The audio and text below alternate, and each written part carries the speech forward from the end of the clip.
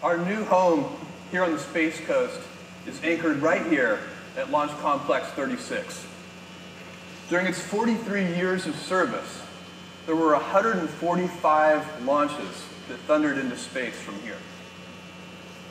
The Mariner missions, the first U.S. spacecraft to visit other planets, lifted off from right here.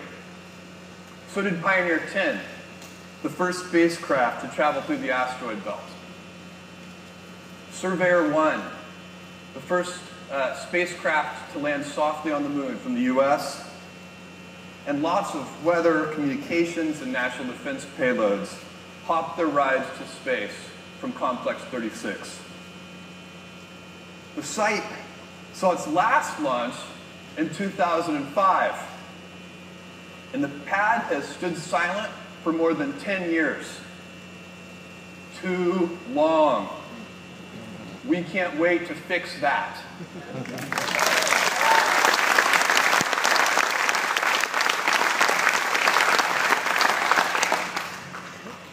and one of the unique things about what we're going to do here in Florida, we're not just launching from here, we're building here.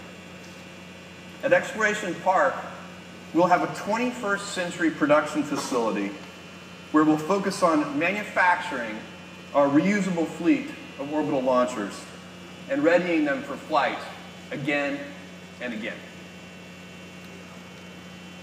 Locating the vehicle assembly near our launch site makes it way easier to process and transport really big rockets.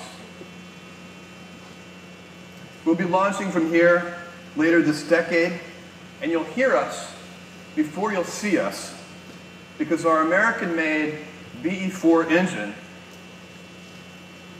the power behind our orbital launch vehicle, will be acceptance tested here.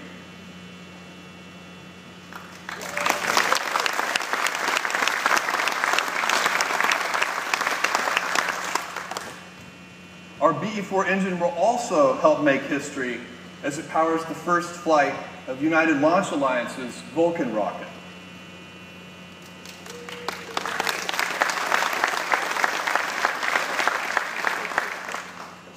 You residents of the Space Coast have enjoyed front row seats to the future for almost 60 years.